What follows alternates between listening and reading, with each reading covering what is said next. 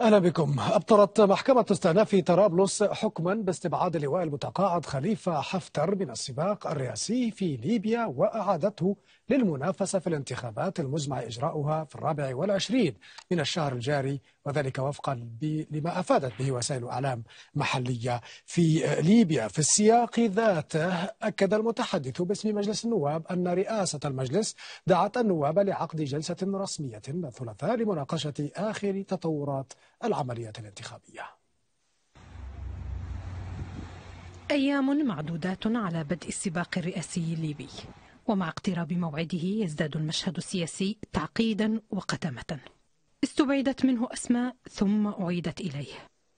كان التطاحن القانوني على أشده على مستوى دوائر الطعون القضائية لإخراج ثلاث شخصيات جدلية رئيسية تملك أكبر الحظوظ للفوز بكرسي الرئاسة.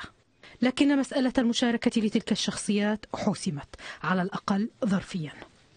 اللواء المتقاعد خليفة حفتر يكسب تأشيرة مرور قضائية إلى صفوف المترشحين للانتخابات الرئاسية.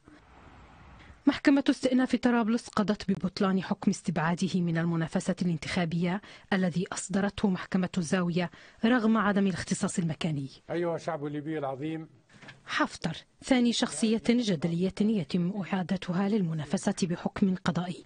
غداة إعادة سيف الإسلام القذافي بشكل نهائي إلى سباق الانتخابات الرئاسية بحكم من محكمة سبعة. هذان الأخيران يواجهان رفضا شعبيا واسعا وتهما بارتكاب جرائم حرب تنتزع عنهما شرعية التأهل يقول الليبيون. هذا الرفض تجسد بأحد أشكاله ببيان أصدرته مجموعة من النشطاء ومؤسسات المجتمع المدني في مصراتة. رفضت تعبره إجراءات المفوضية العليا للانتخابات وعدته ممارسات غير قانونية تسمح بترشح من وصفتهم بمجرمي الحرب. تطورات دعت رئاسة مجلس النواب الليبي لاجتماع رسمي لمناقشتها لكن القول الفصل يظل معلقا حتى يوم الأربعاء حيث تنتهي مرحلة الطعون وتبت المفوضية العليا بالقائمة النهائية للمتنافسين على الرئاسة.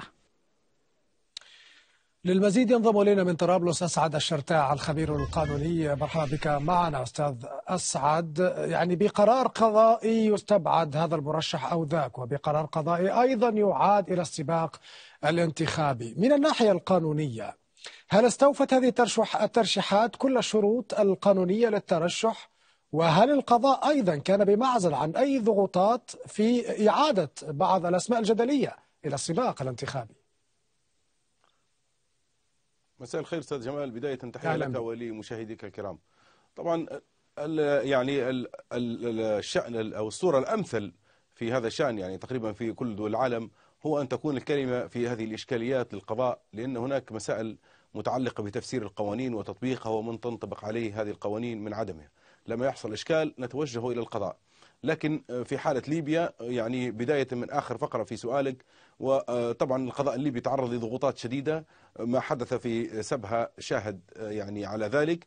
كذلك وهذه أعتقد أن رسم هذا المشهد بهذه الصورة تم من عدة جهات حقيقة من القانون المعيب الذي أصدره عقيلة صالح ومنح الاختصاص المكاني بالمخالفة لقانون المرافعات الليبي والمعمول به.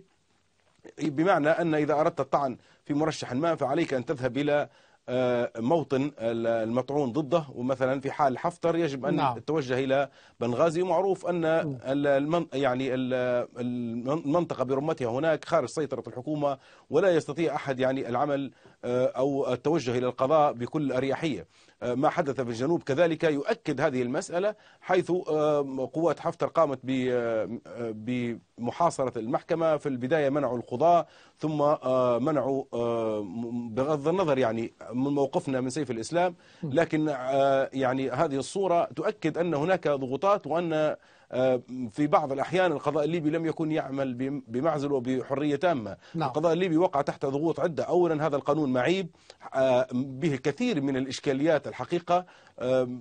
بالإضافة إلى الصعوبات الواقعية مثل ما أخبرتك عن الاختصاص المكاني. نعم. وبالتالي طيب. رأينا كل هذه الإشكاليات. نعم هذا القانون معيب كما وصفت. هذا القانون لم يتم تداوله في مجلس النواب. تمت المصادقة عليه دون مداولة. المجلس يدعو إلى جلسة غدا للتباحث بشأن هذه الانتخابات. برأيك ما المتوقع من هذه الجلسة؟ هل خيار التأخير وارد كما بات يتداول الآن في ليبيا؟ طبعا هي كما قالت المصادر من المفوضية العليا للانتخابات بأن الدعوة جاءت من عقيلة صالح بدون تحديد صفته. يعني يفترض وفق المادة 12 المعيبة التي فصلها عقيلة صالح لاستبعاد المرشح الأبرز والذي يخشى يخشونه في هذه المنافسة وهو عبد الحميد دبيبة المادة 12 التي تقصي أي شخص يتقدم لهذه الانتخابات ويكون في موقع مسؤولية إلا إذا ترك عمله قبل ثلاثة أشهر من تاريخ الانتخابات. والمادة هذه سنت في في أكتوبر للتوضيح. والانتخابات مزمع إجراؤها في ديسمبر يعني حتى المادة موضوعيا وزمنيا من من المستحيل التنفيذ. لكن عقيلة صالح توقف عن عمله قبل ذلك. جهز لهذه المادة حتى لا تطبق بحقه. ورب وأخبر حفتر بالتأكيد لأن حفتر كلف كلف بالمخالفة كلف النظوري كقائد عام القوات المسلحة ومش مفروض هو اللي كلف النظوري. هو يفترض أن القائد الأعلى اللي هو المجلس الانتقالي هو من يملك تكليف قائد عام في محل حفتر. نعم. لكن على كل حال يعني هذه المخالفات اعتدنا عليها من جانب عقيلة صالح. هذه الدعوة الآن جاءت لم يحدد فيها صفة عقيلة صالح لأن إذا إذا قال عقيلة إذا وجه هذا الدعوة عقيلة صالح بصفته رئيس مجلس النواب يعني أنه خرق هذه المادة.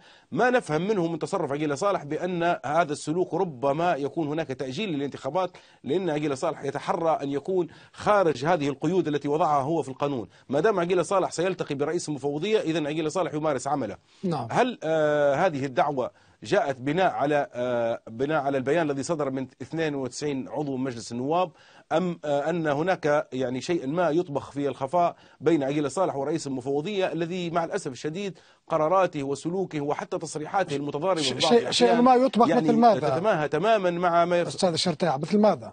يعني مثلا مثل مثل نعم. تأجيل الانتخابات أو إلغاء إجراؤها أو والمحاولة لشق خارطة أخرى للطريق يتم من خلالها تكليف حكومة من قبل عقيلة صالح يتم نعم. تكليف رئيس حكومة ويطلب منه تشكيل الحكومة ونستمر في هذه المراحل بإيجاز بإيجاز سيد شرطاع لو سمحت يعني في حالة تأجيل سياسيا ماذا يعني ذلك بالنسبة لحكومة دبيبة وللمسار السياسي عموما أيضا في ليبيا؟